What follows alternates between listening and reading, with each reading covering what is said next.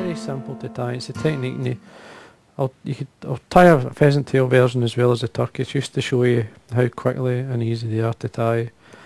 Now, you can add weight to the hook if you wish. You could put lead underneath, but I don't. I usually use another fly to control the depth of this one, so maybe a beaded fly or something. Now, as I say, the hook I'm using is a size 16. This is a, a B170. Uh, which is a, a good dry fly hook as much as a good small nymph hook. Thread I'm using the uni thread. This case 8/0 in grey. And I run the wax through it just to give me more grip. Just the once, don't need it much more. Just start at the eye and we work our way down right to the back of the hook and then remove the waste piece. Turkey, as it's there, just use some of the fibres, but bring the fibres 90 degrees from the stem and you'll see how the tips line up. And when you do that, just pull them off, or in this case I'm just going to trim it away. Just make sure the tips are lined up before you tie them on. Tail, you're looking no more than the shank length, just slightly less even, and a couple of turns to hold it. One, two, and just check the tail length. Don't have it too long. Now what I'm going to do, I'm going to use this is going to be for the body, thorax, it's everything, so what I'm going to do is take the thread to the front, and then basically we're getting ready to tie in the wire. Now the wire I'm using is an ultra wire by UTC. In this case it's an extra small and red. Red wire was originally used, as far as I believe, on the original Grey Goose. Now it was Grey Lag Goose it was used. Now what I'm going to do then is carry one up, take the thread right to about a mil or so from the eye. I'm going to wind the turkey up and wind it towards myself, which is the opposite way from the rib I'm going to be winding and my thread. All the way up to the to the eye. To lock it in what we do is we cross the turkey, do a tight turn, do another one onto the hook, cross and then another one to the hook. This locks it in. And then we bring our wire rib up through. Coming into our basically third turn there. We want to form the thorax. So we, we draw this back. We just carry on taking the wire up to the eye. Cross the thread. A couple of turns. Fold it back. Break it off because it's tucked back it will not pull out. Then we can fold over the turkey for our thorax cover. A couple of turns now. Just at this point see the shape that you want. Make sure it's slightly spread. If you're happy with that, come in and trim away the excess. A wee bit of wax on my thread, just make sure you plenty of grip.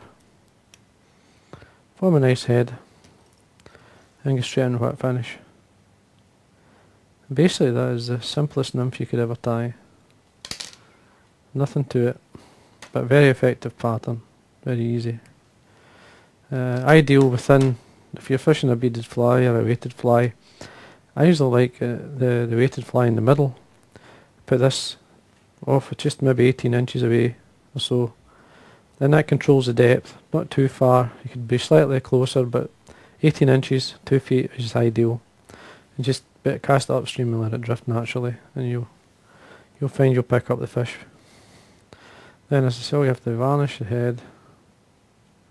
Very easy. Now I'm going to tie a pheasant tail one, just to show you a basic pheasant tail. Just going to clean the eye.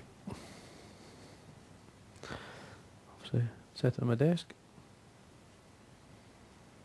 And I've got a dyed, the pheasant tail dyed yellow, natural, which is a nice colour. And this time I'm going to change to a, a lighter colour thread. I'm going to use a keyhole thread. In this case, the yellow start the thread at the eye again, just exactly the same. Just remove the thread, the base piece, wind down until just before the bend. Get my pheasant tail fibre, Bring it 90 degrees from the stem. As you can see it lines it up. Just get the tips, the length of the tail that we want. Not too long. Just come in with a couple of turns. Oops. Make sure it's all for the fibres this end towards myself. So that when I lift the turn up, it lifts the, the fibre on top. Again, bring the thread to this, to the front of the fibre.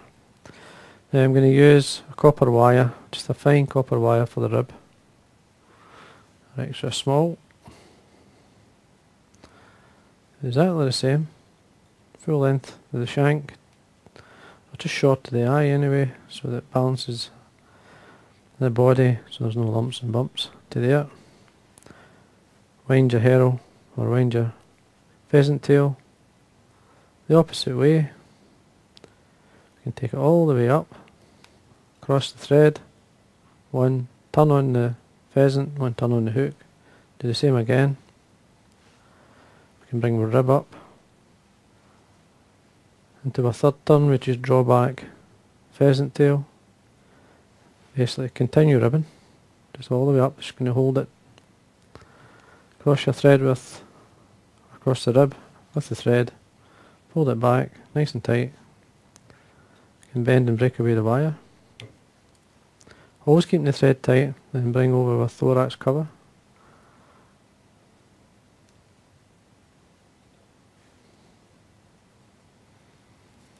Just check the pheasant tail, always make sure it's in.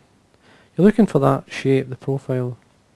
Now this is a good midge pattern as much as it is uh, a mayfly pattern. You'll still, I've caught many a, a rainbow trout using these for when the midge are coming off. Tidy the head up and get straight in whip finish. So that's one tied with the turkey and one tied with the pheasant tail fibre. Throw your thread. And there we are. What we can do now, sweet coat varnish. And there we go. Easy fly to tie. Fill your box in no time, but they're very effective.